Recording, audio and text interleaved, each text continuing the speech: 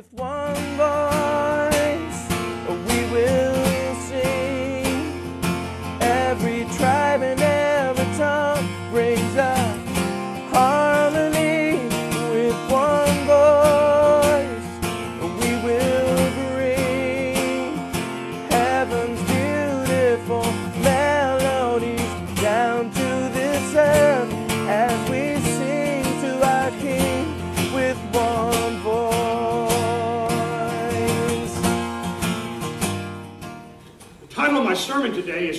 Hard to Believe.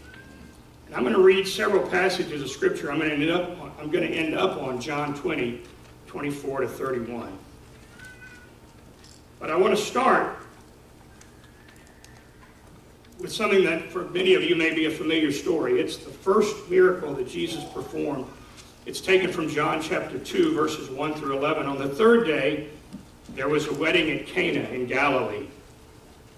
And the mother of Jesus was there. Jesus also was invited to the wedding with his disciples. when the wine ran out, the mother of Jesus said to him, They have no wine. And Jesus said to her, Woman, what does this have to do with me? My hour has not yet come. His mother said to the servants, Do whatever he tells you. I, just find that completely amazing. He says, what, do you, what, would you, what does this have to do with me? My hour's not yet come. And she says, you know, moms always know sometimes. She says, do whatever he tells you to do because she knew, I believe, that it was his time. Now there were six stone water jars. I, I want you to underline stone. Okay, these were not little water jars. These, these were large water jars, each holding between 20 and 30 gallons. They were for the Jewish rite of purification. Verse 7, Jesus said to the servants, Fill the jars with water. And they filled them up to the brim. And he said to them, Now draw out some, some out, and take it to the master of the feast. So they took it, and when the master of the feast tasted the water, now become wine, and did not know where it came from, though the servants who drew it knew, the water, the, the master of the feast called the bridegroom and said to him, Everyone serves the good wine first, and when people have drunk freely, then the poor wine, but you have kept the good wine until now. This is the first of his signs. Jesus did at Cana in Galilee and manifested his glory, and his disciples believed in him. Underline the word believed. John chapter 4, verses 46 to 54. this is not long after this is not long after that miracle at Cana. And it says, So he came again to Cana in Galilee, where he had made the water wine. And at Capernaum there was an official whose son was ill. When this man heard that, that Jesus had come from Judea to Galilee, he went to him and asked him to come down and heal his son, for he was at the point of death. So Jesus said to him, Unless you see signs and wonders, you will not believe. Now, you need to understand, these were not megatropolis cities. Okay, Cana was not a huge place. and so if somebody turned gallons of water into gallons of wine, the word is going to get out. Word of mouth in a small town like that is an amazing thing. And so Jesus said, unless you see signs and wonders, you will not believe. The official said to him, Sir, come down before my child dies. Jesus said to him, Go, your son will live. The man believed the words that Jesus spoke to him and went on his way. And as he was going down, his servants met him and told him that his son was recovering. So he asked them the hour when, it be, when he began to get better. And they said to him, Yesterday, at the seventh hour, the fever left him. The father knew that was the hour when Jesus had said to him, Your son will live. And he himself believed, and all his household. Underline the word believe. This was now the second sign that Jesus did, Jesus did when he had come from Judea to Galilee. John chapter 12, verses 35 to 40. when Jesus had said these things, he departed and hid himself from them. Though he had done so many signs before them, they still did not believe in him, so that the words spoken by the prophet Isaiah might be fulfilled. Lord, who has believed what he has heard from us? And to whom has the arm of the Lord been revealed? Therefore they could not believe. For again Isaiah said, He has blinded their eyes and hardened their hearts, lest they see with their eyes and understand with their heart, and turn, and I would heal them. And then the focal pastor, uh, passage is John chapter 20, verses 19 to 31.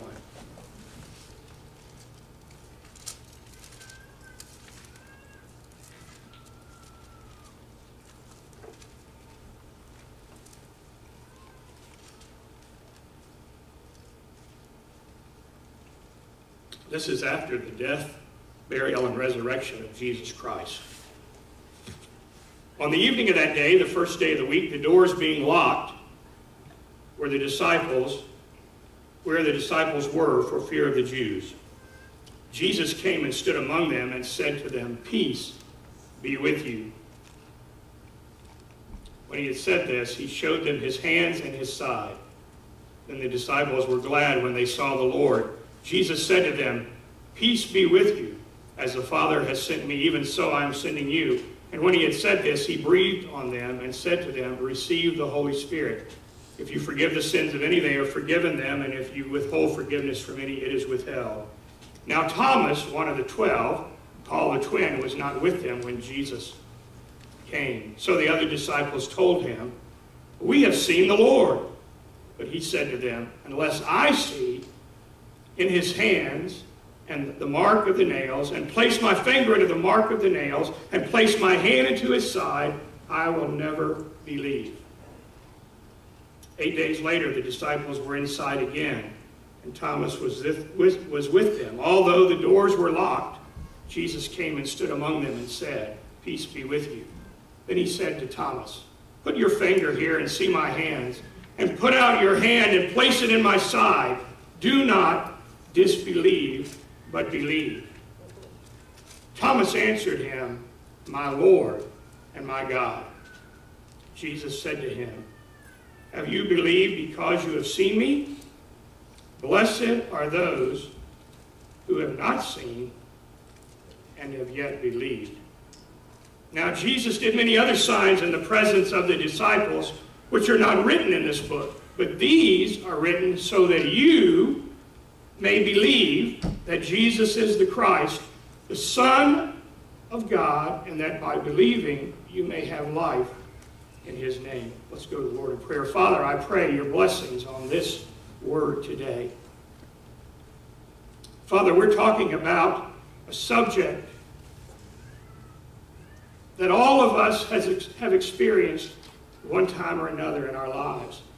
A point, period of time, due to circumstances or other things, where we have trouble believing. Believing your word, believing in you, putting our faith and trust in you.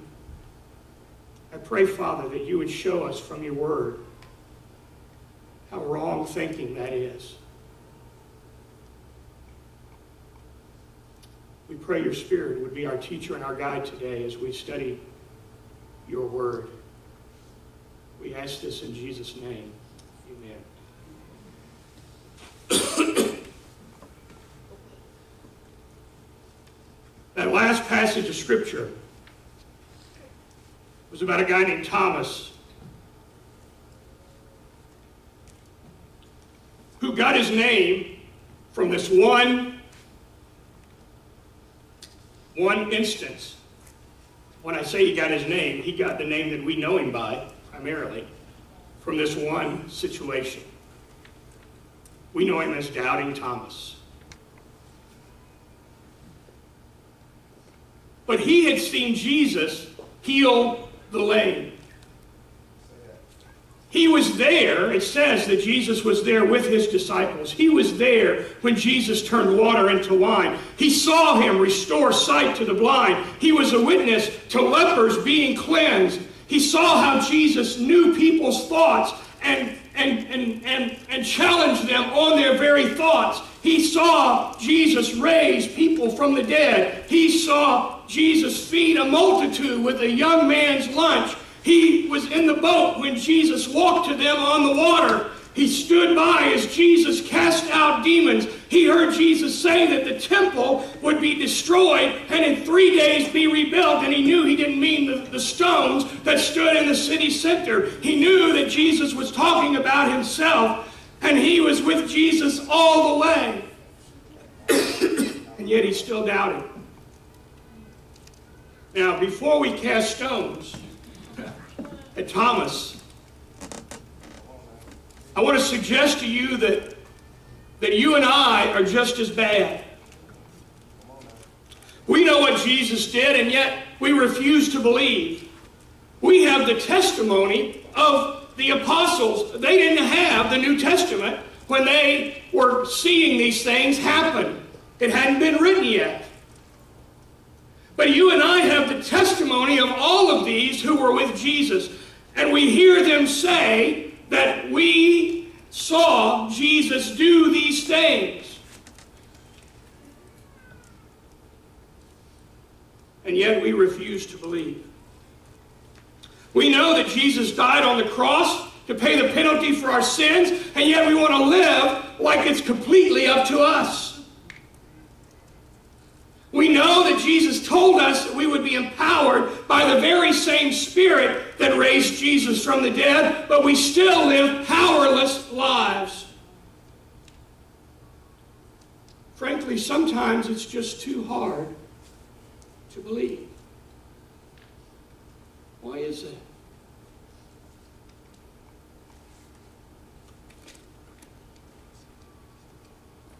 I'm glad you asked.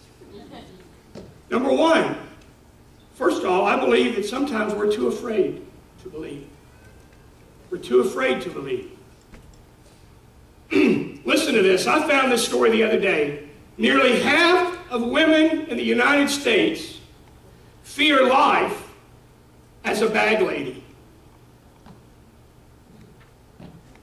This is actually something known as the bag lady syndrome. 46% of women suffer from what is now called this bag lady syndrome. They might have good salaries, they might have money in their purse, they might have a decent savings, they might have investments in the bank, but they're still afraid that they will wind up broke, forgotten, and destitute. Bag ladies. According to the Washington Times, a recent survey of almost 2,000 women reveals that 90% of them feel financially insecure. 46% are troubled by a tremendous fear, quote unquote, a tremendous fear of becoming a bag lady. And this anxiety actually increases as incomes rise. Among those with annual incomes of more than $100,000, almost half of them fear a life of destitution. Lily Tomlin, Gloria Steinem, Shirley MacLaine, Katie Couric have all admitted to having a bag lady in their anxiety closet. They all suffer from the bag lady nightmare. What's going on here? Women have complicated fears about money, observed Judith Briles, a Denver financial advisor. I'm quoting from the article here. They fear failure or making mistakes. They fear they are expendable. Because of this, women are twice as likely as men to set aside a secret stash of money. Two-thirds of the women surveyed said that the best thing about having money is a sense of security that it brings.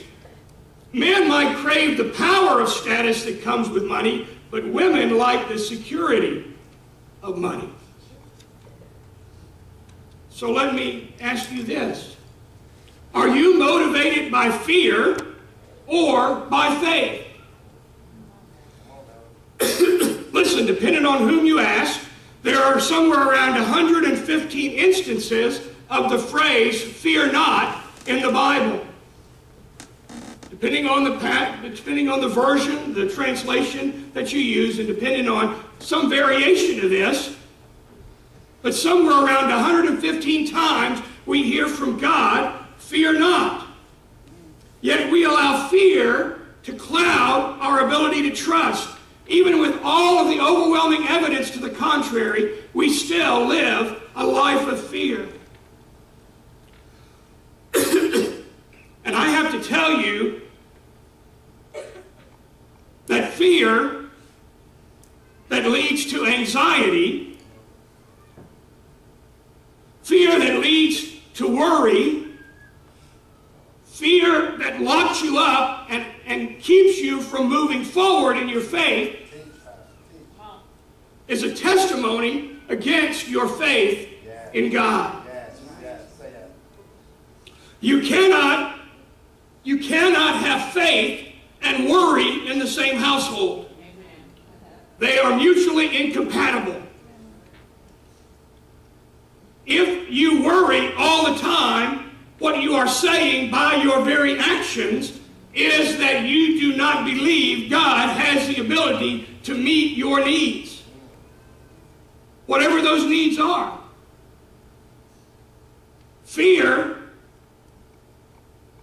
unfounded fear. Now there's there's some fear, you know. We have a transformer in here that breaks down electricity that comes from the pole out there. Okay? What's coming into that box is about 440 volts.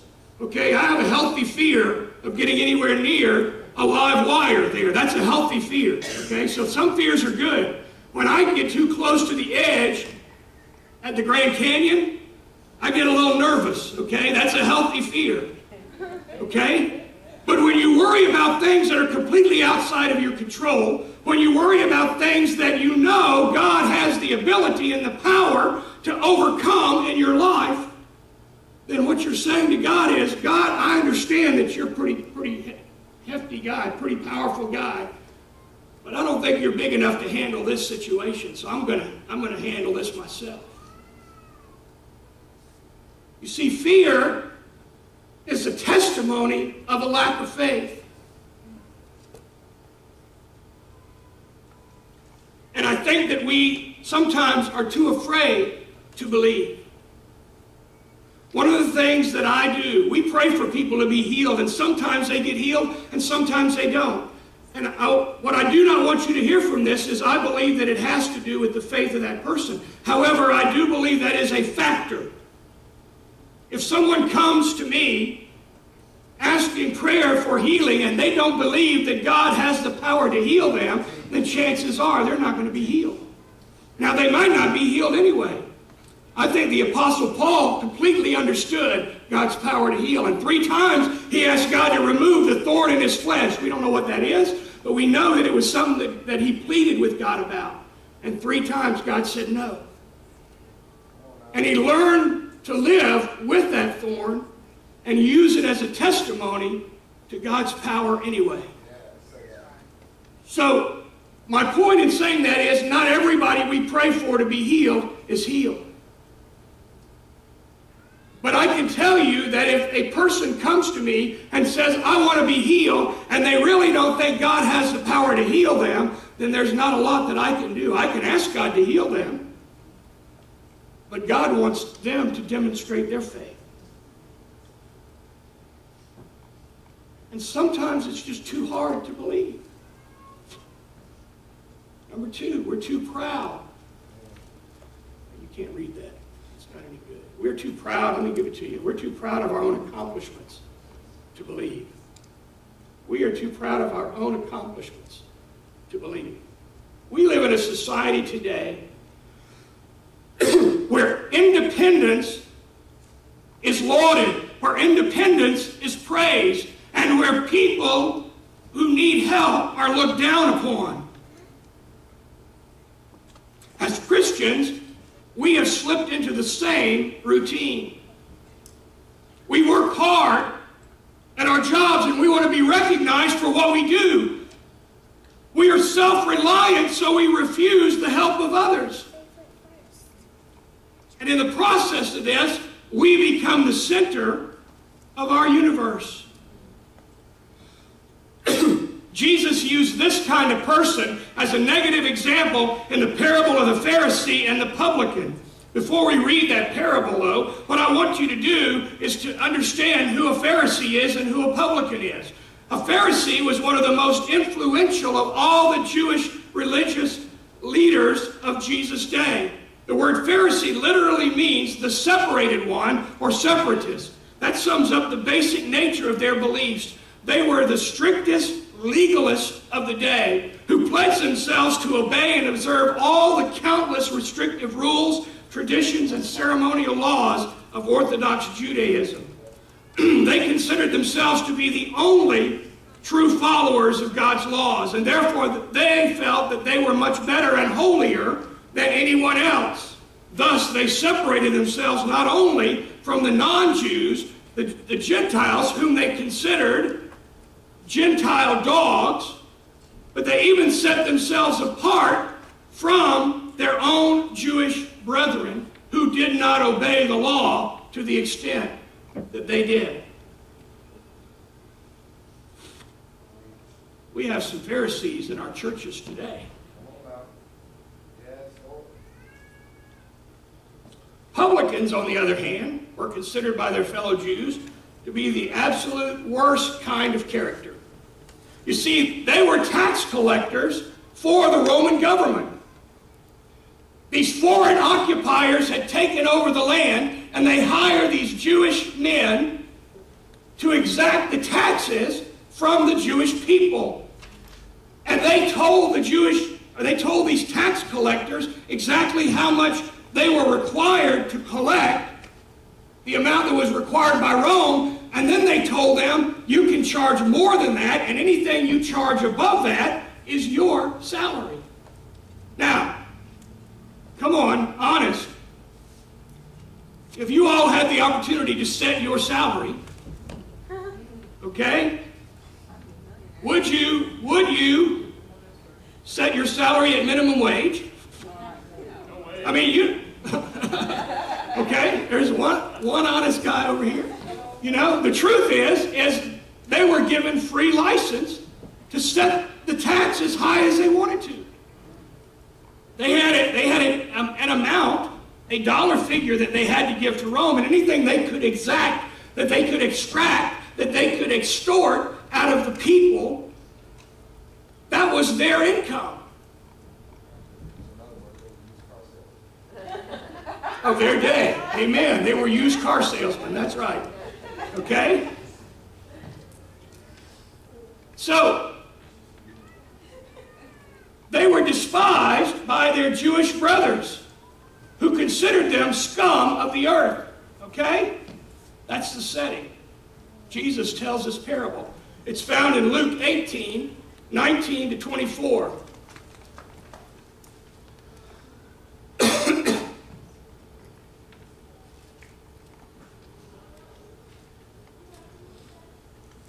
Says this. Sorry? And yes, you're right. I'm sorry. It is. It's Luke 18, verses 9 through 14. He also told this parable to some who trusted in themselves that they were righteous and treated others with contempt. Wonder who he was talking about. Two men went up to the temple to pray, one a Pharisee and the other a tax collector. The Pharisee, standing by himself, prayed thus God, I thank you that I am not like other men, extortioners, unjust, adulterers, or even like this tax collector. I fast twice a week. I give tithes of all that I get. But the tax collector, standing far off, would not even lift up his eyes to heaven, but beat his breast, saying, God, be merciful to me, a sinner. I tell you, this man, talking about the tax collector, this man went down to his house justified rather than the other. For everyone who exalts himself will be humbled, and the one who humbles himself will be exalted. If we're not careful, we find ourselves being so proud, so puffed up, so, so glad to let the world know who we are that we can't trust God for anything. We believe that if that if that if that if if we have a need, we have the resources, we have the wherewithal, we can meet those needs. And this kind of person seldom falls on their face before God and crying out to Him. But I tell you, we need more people like that tax collector in that, in that parable than we do Pharisees. We honestly need to be able to look to God and say, God, I can't do it. Because I can tell you that once you get there, the term for that is brokenness. The term for that is brokenness. And when we get to the point of brokenness, then God can use it. Isn't that just like God? You know, you have something that, that, that is whole and complete, and you say, This is a useful vessel. And God says, You need to throw it on the ground and break it into some pieces. And then I'll use it. That doesn't even make sense, does it? But God can do more out of that broken vessel than he can out of the one that's whole. Because the broken vessel then can expand and grow. That one that's whole is limited. Sometimes we don't believe because we're so proud of our own accomplishments. Number three, you can't believe because you've been betrayed in the past. You can't believe because you've been betrayed in the past. This is almost understandable. About a month and a half or two ago, I got a check in the mail. I got a check in the mail for $3,800. Wasn't a check I was expecting. And with that check, I mean, it's a real honest to goodness check. It was written on an account from Trio Farms in Bradenton, Florida. I don't know anybody in Bradenton, Florida. I don't know anybody that owns Trio Farms. But it, with this check was a letter. And this letter said, Congratulations, you are one of the winners of a European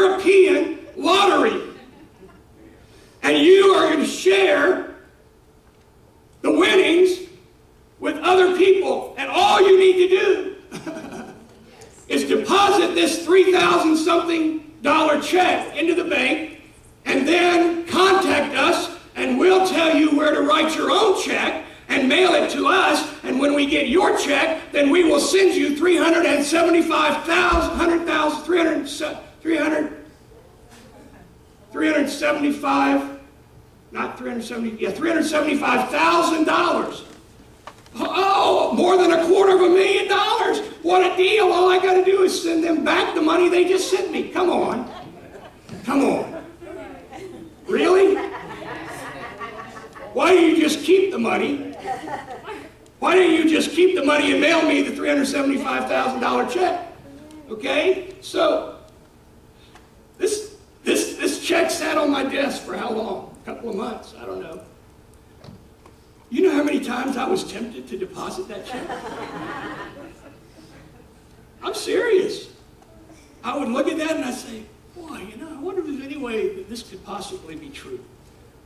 beginning to believe it.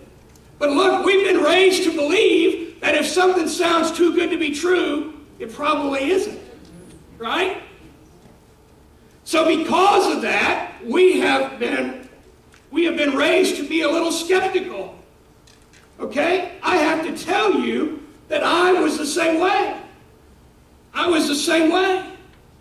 Listen, I knew that God sent Jesus Christ to die on the cross for my sins. I knew that.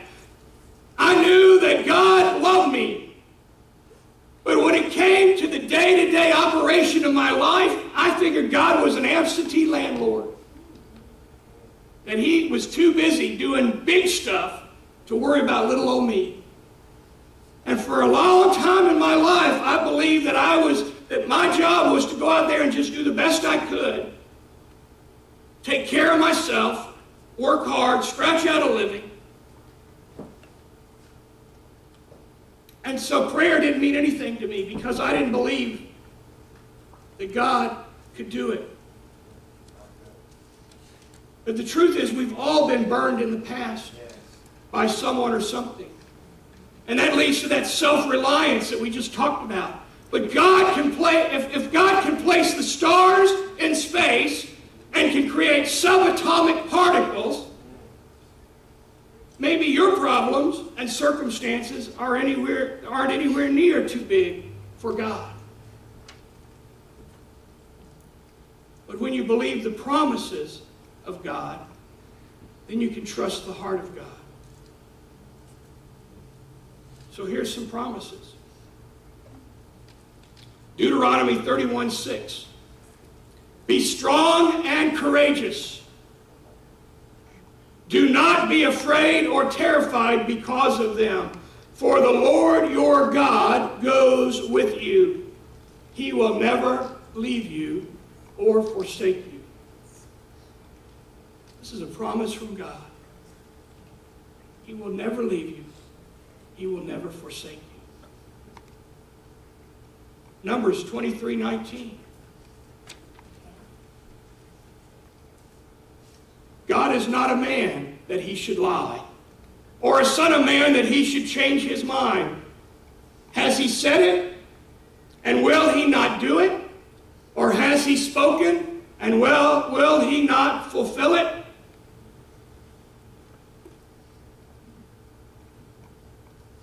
And here's one, this is one of my favorites Proverbs chapter 3, 5 and 6. Trust in the Lord with all your heart. Trust in the Lord with all your heart. Trust in the Lord with all your heart. And lean not on your own understanding. Lean not on your own understanding. In all your ways, that means everything you do from the minute you wake up in the morning till the minute that you lay your head on your pillow. In all your ways, acknowledge Him. And He, He will make straight your paths. The question is, do you believe it? Do you believe it? Do you believe the promises of God? Do you believe the one that can bring tissue together in such a way that it creates mankind? You who have given birth to children and you've seen the miracle of that, can you believe that a God who can make that process so unique and so beautiful, can he not meet your needs? Number four, though, you don't have enough faith to believe. I've been there. I've been there. The bottom line is that sometimes, even though we know everything we need to know, we believe all the stories of Jesus, we believe all the miracles, we believe all the teachings, we still find ourselves lacking in faith. That's a reality for all of us at one time or another. Can I just be completely honest with you? I appreciate my brother today in, in, the, in the Bible study this morning before our, before our service saying that pastors, a lot of time, when they preach a sermon, it's not because they've got it all figured out. It's because God has spoken to them as they've been in the Word, and they say, hey, look, look at what I just found. This is an answer that I needed to hear. Let me share it with you. Well, this is, this is one of those cases. There's lots of times, as your pastor, can I just say there's lots of times that I don't have enough faith to believe. If you think you're having a hard time with this, join the crowd. Okay? Because there are lots of times, listen, there's lots of times that, that God says something to me and I go, well, I don't think so. I mean, you may be right, God. You, you're all sovereign. I don't think so. I'm not so sure about this one. God, I, Teach, man, God, teach. Yes, Lord. Sir. That's reality. That's reality for all of us. And, and in this process, we discover that we need more faith. Hmm. There is a story in the Bible, it's found in the Gospel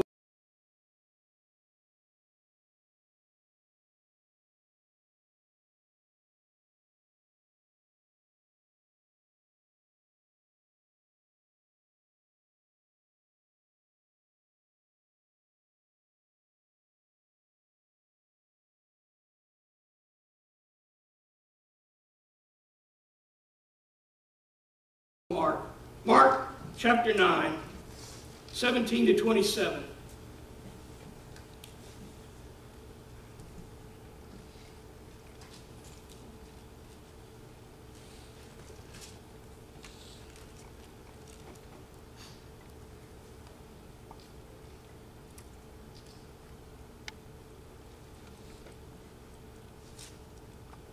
says someone from the crowd answered him, Teacher, I brought my son to you, for he has a spirit that makes him mute. And whenever it seizes him, it throws him down, and he foams and grinds his teeth and becomes rigid. So I asked your disciples to cast it out, and they were not able. Hmm. They didn't have enough faith. they didn't have enough faith. They were not able. And he answered them, O faithless generation, how long am I to be with you? How long am I to bear with you? Bring him to me. and they brought the boy to him, and when the spirit saw him, immediately it convulsed the boy, and he fell on the ground and rolled about, foaming at the mouth.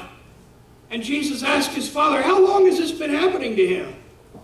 And he said, From childhood and it has often cast him into fire and into water to destroy him. But if you can do anything, have compassion on us and help us. I love Jesus' answer here. I love Jesus' answer here. He says, he, let me read what the, what the man said again.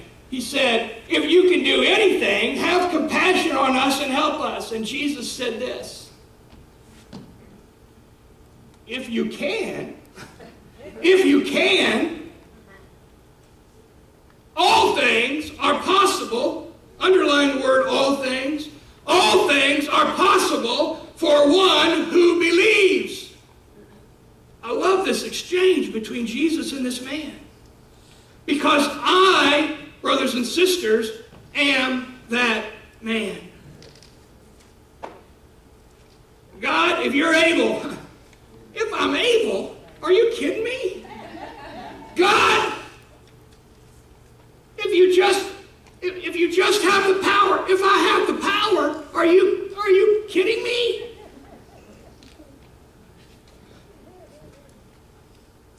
All things are possible. Yes, all things. All things are possible.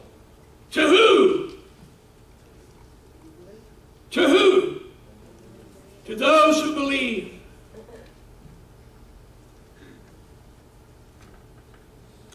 love response of the father. Immediately, the father of the child cried out and said this I believe. Help my unbelief. I believe. I really do believe, but I don't have enough faith for this. I believe a lot of stuff, God, but I don't have enough faith for this. Help my unbelief. Listen, if you find yourself in that circumstance, there's only one thing you can do.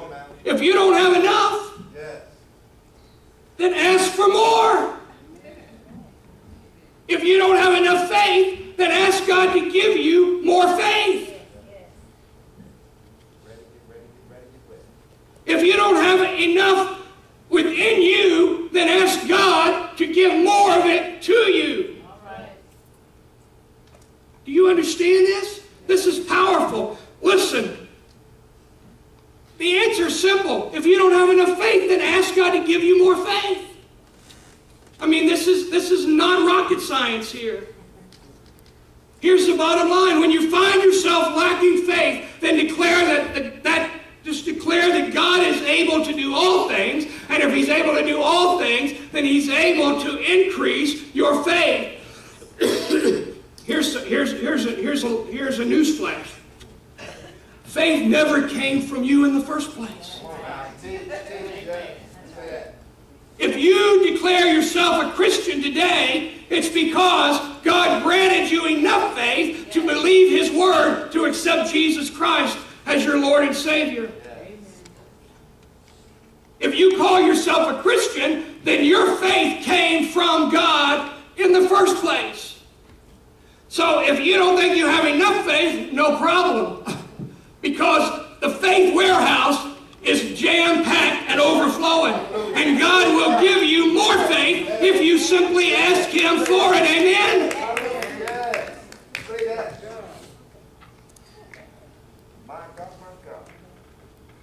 Since God is the source of our faith, then God is the source of greater faith. Ultimately, God will give us someday, one day, perfect faith. Not there yet, but someday we will have perfect faith. C.S. Lewis explains it this way. I, I read this this week as I was researching for this sermon. I came across this little statement. It says, believing things on authority only means believing them because you have been told them by someone you think trustworthy. Listen to this 99% of the things you believe are believed on authority. I believe there is such a place. Now, you remember he lived in, in England. I believe there is such a place as New York. I could not prove by abstract reasoning that there is such a place. I believe it because reliable people have told me so. The ordinary person believes in the solar system, atoms, and the circulation of blood on authority because the scientists have told us so. Every historical statement is believed on authority. None of us has seen the Norman conquest or the defeat of the Spanish Armada, but we believe them because people who did see them have left writings that tell us about them. In fact, on authority. A person who balked at authority in other things, as some people do in religion, would have to be content to know nothing all his life. Listen, the testimony of those who were with Jesus, including, including doubting Thomas, have given us the testimony of the, their eyewitness accounts. If we can believe these other things without having seen them, remember what Jesus said to Thomas at the end of that? He said, Blessed are you, Thomas, who have seen and believe. Blessed are those who have not seen and yet believe. That's you and that's me. Because you and I were never there when Jesus was on the cross. We were not physically there. You and I were not there in that upper room when Jesus appeared before the disciples and before Thomas. You and I were not there when, when, when the Apostle Paul came face to face with Jesus Christ on the road to Damascus. You and I were not there. But we have the testimony of these men who, yes, brothers and sisters, who went to their very death proclaiming the truth of this testimony. Men who died martyr's death because they defended the veracity of the words that they had written down and the words that they had proclaimed to the people. They went to their death saying, This is the truth. And if you can't believe it, then you don't need to believe the Constitution of the United States or that George Washington was the president because you can't prove it. Because you weren't there. You got to trust somebody else's word on that. And if you can trust their words, then why can't we trust the words of the men who were there with Jesus when he said, Put your hands in my side and put your hands in my hand and feet, the holes that are there. If you can't believe that, then you've got a problem that I can't help you with. And if you don't have enough faith, ask for more. Ultimately, what you believe is based on determining how trustworthy is the one in whom you base your belief. Yes.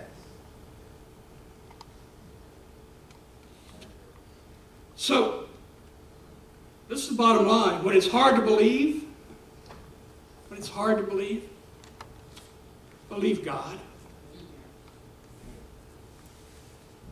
You believe stuff your friends tell you all the time. Look, I see what you write on Facebook. I see what you write on Facebook. You believe all kinds of stuff. You believe stuff, a lot of stuff is not true. If you can believe your friends, unless you can tell me this particular friend is, is God incarnate, and you can believe that, then there's a reason why you can't believe this Word of God. When you, when you can't believe, when it's hard to believe, believe God. Because for me, He said it, I believe it, and that's good enough for me. Praise God. Yeah. Let's go to the Lord in prayer. Father, I thank you for your word today. Yes. Hasn't been a quick message. You unfolded it a little bit at a time to help us get to where we are. But Father, I believe there are many people in this room